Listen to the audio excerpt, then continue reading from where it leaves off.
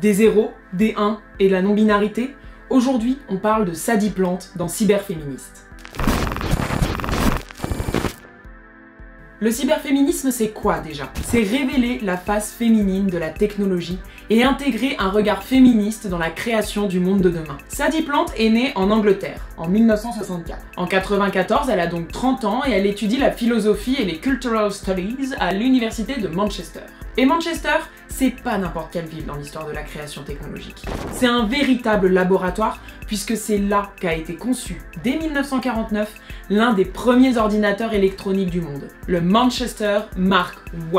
Alors, dans les années 90, lorsque les premiers ordinateurs se démocratisent, l'université de Manchester est à la pointe. Et Sadie Plante, bien que philosophe, va s'y intéresser de près. Elle se penche sur ces outils qui sont tout nouveaux et elle sent des possibilités infinies. Elle tombe alors sur Ada Lovelace, complètement oubliée de l'histoire à ce moment-là, qui est pourtant la première personne à avoir créé un programme informatique au début du 19e siècle. Mais ça, on en parle dans un autre épisode. À partir de là, Sadie a ouvert la boîte de Pandore qui va la mener vers le cyberféminisme. Elle s'approprie cette nouvelle technologie qui la fascine avec l'idée de déconstruire ce mythe selon lequel la technologie et Internet sont uniquement masculins. Pour elle, les technologies ont un potentiel énorme, celui de pouvoir reconfigurer les traditionnelles notions de genre masculin, féminin. Pour elle, la technologie est patriarcale, car elle s'est développée dans un modèle capitaliste qui est lui aussi éminemment patriarcal. En fait, dépasser et remettre en question la binarité, des genres notamment, c'est un peu son cheval de bataille. D'ailleurs, c'est sur cette base qu'elle écrit en 97 Zeros and Ones, Digital Woman, The New Technoculture son ouvrage de référence sur le cyberféminisme,